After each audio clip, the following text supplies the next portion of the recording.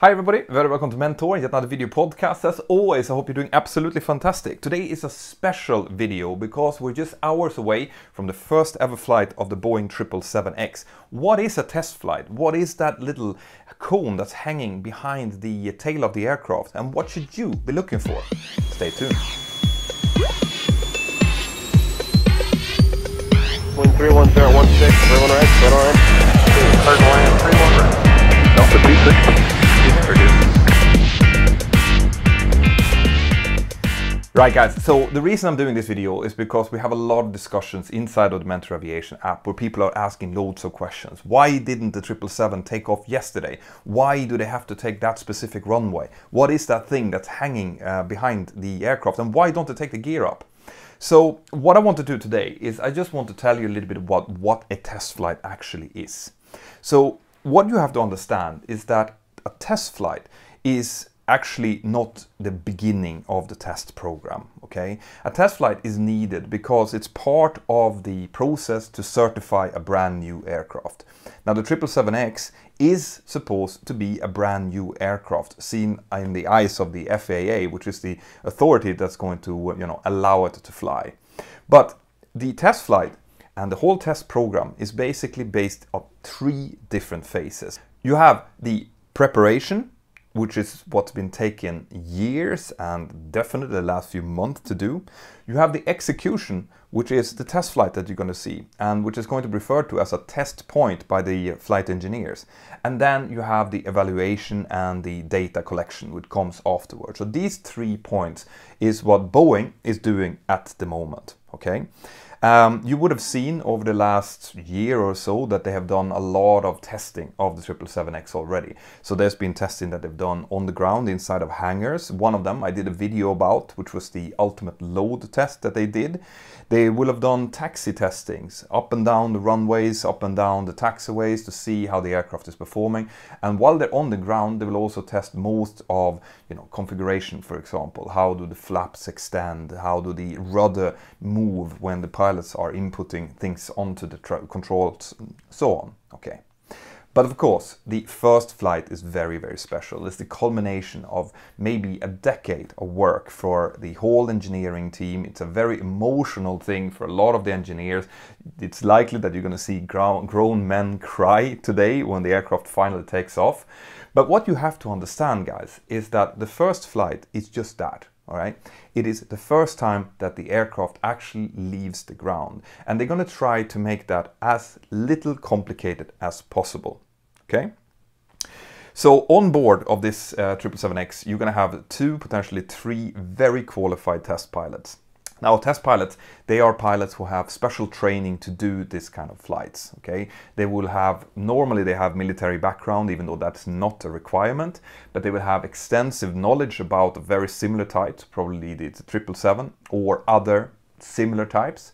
Uh, and they will have done a special, special course on how to actually do test flying all right? So it's not just a, a, pilot taking off the line. These are these are people that know exactly what they're doing and the risks that are associated with actually flying an aircraft the first time.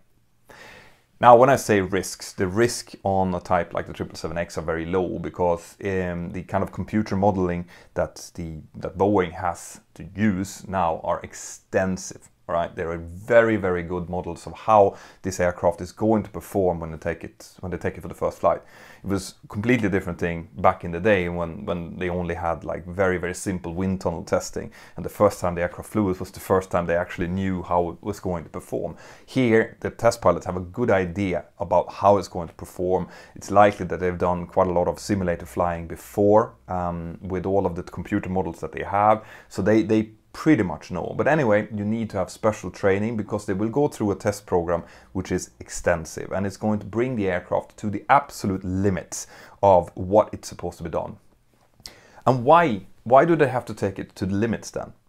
Well, part of the test program is to verify the computer models that they've had, but it also is there to find the test points to build the operational handbook of the aircraft.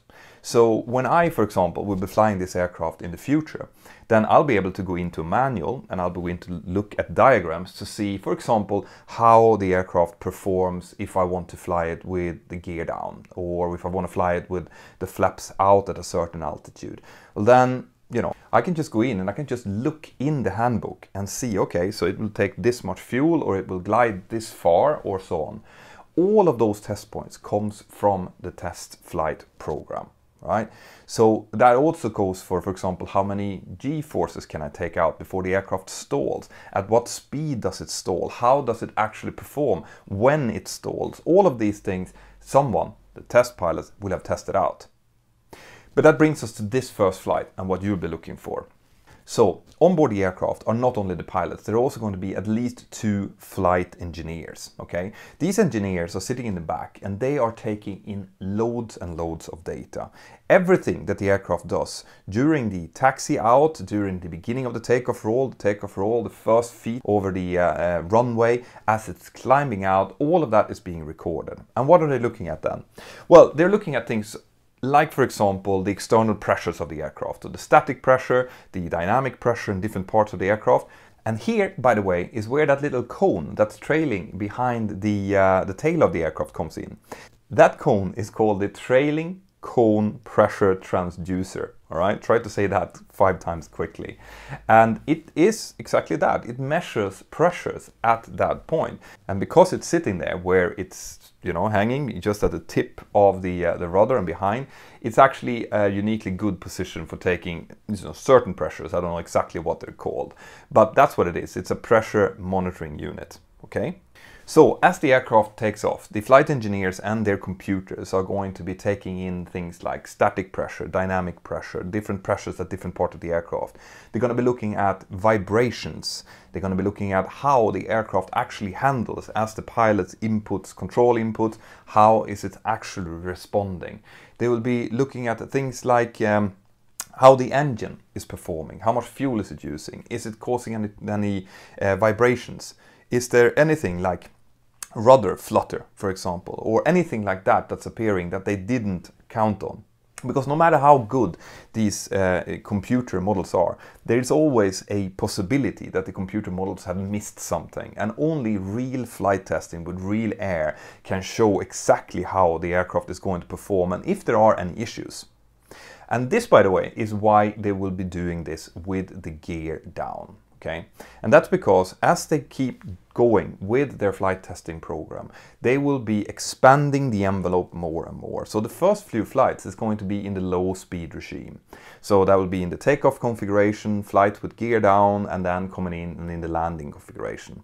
They don't want to do anything more than what's in their testing program because anytime that they do more there might be you know a risk of something going wrong and of course you know taking the gear up and then finding out that there is an issue with the gear and having to land with partial gear up on its first ever flight in front of thousands of, of um, press cameras and you guys watching the live stream would be extremely embarrassing as well. But the main thing here is that they don't, they want to test each system by itself. So you'll be taking off, you'll see them flying away with the gear down, they'll be flying out into a test area where they'll be doing some predetermined maneuvers to check all of these things that we've been talking about and probably thousands more that I haven't mentioned. And then they will eventually come in and land and taxi in. That's what they will do in the beginning. And then for each test flight, they are going to expand this. They're going to um, make it fly a little bit faster. They're going to be taking the gear up and then eventually they will be going into maneuvers like, for example, um, steep turns, stalls, uh, over speeding of the aircraft, um, you know, handling during extreme crosswind, uh, handling in Arctic conditions during extreme temperatures, both high and low. And the, the test program can take months, if not years to complete. But in this case, since we're dealing with a, an extension of a pre-existing type, it's likely to go a little bit faster than that. So that's what you can expect guys from this first flight and that's why they're flying with the gear down and that is what that little cone is and this is what I wanted.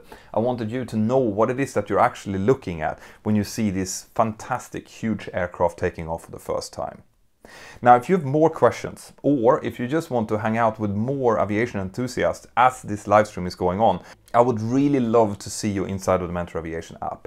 We will be putting the live stream up inside of the app, so you'll be able to see it from inside of the app, and then you can go into the chat and you can ask questions to other pilots like me or Ava or any of the other uh, professional pilots in there. There's thousands of aviation enthusiasts who are in either the forums or the chat every day, and you can also get your absolute banging fresh aviation news inside of the app. They will be pushed out to you if there's something that's really important. Otherwise, you can just go in there daily and check out what's going on. We're finding aviation news from all over the globe and we're putting it into the app for you guys to be able to access. Now, let's see how this aircraft performs, shall we?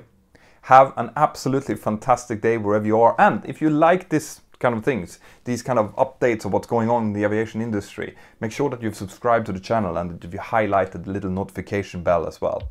Take care of yourself and I'll see you inside of the app. Bye bye. Right guys, I really hope that you liked that. If you want more content like that, more aviation content, well then check this out. Uh, I hope that you have subscribed to the channel and that you've highlighted the little notification bell. See you inside of the Mentour Aviation app and have an absolutely fantastic day. Bye bye.